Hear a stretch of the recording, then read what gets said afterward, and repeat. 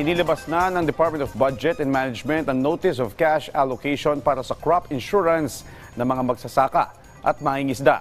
Ang Notice of Cash Allowance na 900 million pesos ay para sa unang quarter lang ng taon at bahagi ng 4.5 billion pesos SARO o Special Allotment Release Order na inilabas din ng DBM para sa crop insurance ngayong taon.